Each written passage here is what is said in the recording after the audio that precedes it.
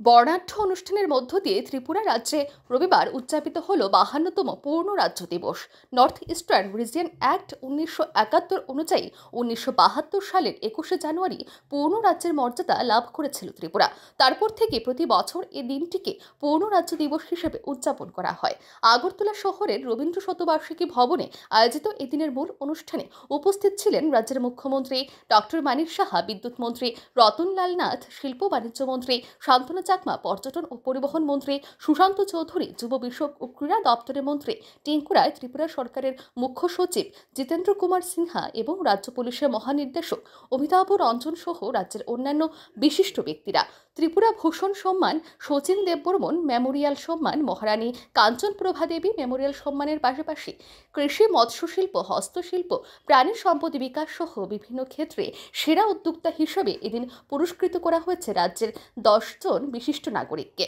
রবিবারের এই উদযাপনে নিজের বক্তব্যে মুখ্যমন্ত্রী ডক্টর মানিক সাহা বলেন, দেশের প্রধানমন্ত্রী নরেন্দ্র মোদীর নেতৃত্বে রাজ্যকে আরও সমৃদ্ধ করার লক্ষ্যে কাজ করছে ত্রিপুরা সরকার।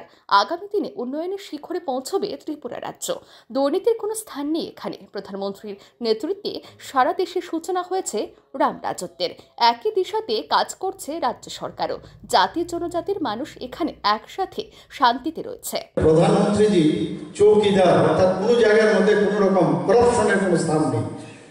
তো আমরাও সেই দিশায় চলছি। উনি বিভিন্ন সময়ে যে কথাগুলো বলেন, যে হর ঘর তিরঙ্গা। আরে, এ তো আমাকে আমরাও এই ন্যাশনাল ফ্ল্যাগ আমরা উত্তোলন করেছি, কিন্তু যখন উনি নারা দিয়েছেন যে হর ঘর তিরঙ্গা, আমরাও আমাদের ত্রিপুরাতে মানে আমাদের eight point five household আছে। তারপরেও দেখা গেছে আমাদের যে বিভিন্ন সাইজের আমরা যে ফ্ল্যাট বানালাম শর্ট হয়ে গেল, বাইরের থেকে আমাদের আনতে হয়েছে। এই যে একটা বিষয় কি? যে বিনা পয়সা দেবে না, সরকার বিনা পয়সায় দেবে না। You have to buy buy পয়সা দিয়ে কিনতে হবে, ছোট, বড়, যাই হোক। এই যে বিষয় মানে পঁচাত্তর সীমান্ত গ্রাম বীরঙ্গানা আমরা কোনদিন ভাবতে পারি কথা কথাগুলো মানে যাদের এই যে আমাদের প্রতিটা গ্রামের পঁচাত্তর বছর দেশ স্বাধীন হয়েছে তাকে স্মরণ করার পাশাপাশি আমাদের দেশেরও যারা যারা বীর সেটা স্বাধীনতা লাভের জন্য যারা নিজের জীবন বিসর্জন, দিয়েছেন জীবন দিয়েছেন তারপরও যারা পুলিশ থেকে আরম্ভ করে বিভিন্ন সময় আমাদের যারা সোলজাররা আছেন বিভিন্ন জায়গায় আছে আমাদের ত্রিপুরার তাদেরকে খুঁজে বের করে তাদের যে ওখানে তাদের নাম খুদাই করে সেখানে আমরা করেছি। মেরে মাটি মেরা দেশ ভাবা যায়, আমরা এই মাটি দিয়ে আমরা চলি, নিজের মাটি, আমার দেশের মাটি, তাকে আমাদের নমন করা উচিত। আমাদের মধ্যে সেই জিনিসটা উনি ঢুকিয়েছেন।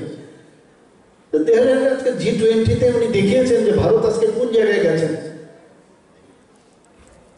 আমাদের উচিত আমরাও প্রধানমন্ত্রীজিকে শক্তিশালী করা। অর্থাৎ প্রধানমন্ত্রীজিকে শক্তিশালী শক্তিশালী করা মানে দেশকে শক্তিশালী করা, রাজ্যকে শক্তিশালী করা। এবং আমি খুব খুশি যে আমাদের যারা অফিসাররাও আছেন ওনারাও কিন্তু সেইভাবে কাজ করছেন। তবেই আজকে এনএসির মিটিংয়ে গত পরশু দিন যখন আমরা শিলংয়ে গেলাম, সেখানে কিন্তু বিভিন্ন ক্যাটাগরিতে আমরা অনেক জায়গায়, কোনো অংশে আমরা কম নাই, সব বরং অনেক জায়গায় আমরা বেটার আমরা যখন দিল্লিতেও যাই ন্যাশনাল লেভেলও বিভিন্ন প্যারামিটার যখন দেখা হয়, সেখানে কিন্তু আমাদের স্থান অনেক ছোট্ট রাজ্য, যেটা আমাদের মাননীয় চিফ সেক্রেটারি মহোদয় বলার চেষ্টা করেছেন। আমাদের হতে পারে আমাদের রাজ্য ছোট, কিন্তু এই যে রাম রাজত্বর যে বিষয়, সেই রাম রাজত্বর মতোই মাননীয় প্রধানমন্ত্রীজি সারা দেশকে যেভাবে রাম রাজত্বের মতো চেষ্টা করছেন, আমরাও ত্রিপুরাকে রাম রাজত্বের মতো আমরা চেষ্টা করব। মানুষ এখানে শান্তিতে থাকবে এবং শান্তির মাধ্যমে আমরা একজন আরেকজনের সাথে সম্পর্ক সুদৃঢ় করব সেই জাতি হোক জনজাতি হোক সবাই মিলে। আর পাশাপাশি ডেভেলপমেন্ট হবে। ডেভেলপমেন্ট ছাড়া কিচ্ছু হবে না। গ্যারান্টি দিচ্ছেন মাননীয় প্রধানমন্ত্রীজি। তো ভাবা যায় কোনোদিন যে গ্যারান্টির গাড়ি পাঠিয়েছেন। এই দিনের অনুষ্ঠানের শুরুতে ত্রিপুরা রাজ্যের উপর নির্মিত একটি তথ্যচিত্র প্রদর্শন করা হয় রবীন্দ্র শতবার্ষিকী ভবনে। রাজধানীর বিভিন্ন স্কুল ও কলেজের ছাত্রছাত্রী সহ সাধারণ মানুষের উপস্থিতিও ছিল এদিন চোখে পড়ার মতো। ব্যুরো রিপোর্ট, আর ই নিউজ।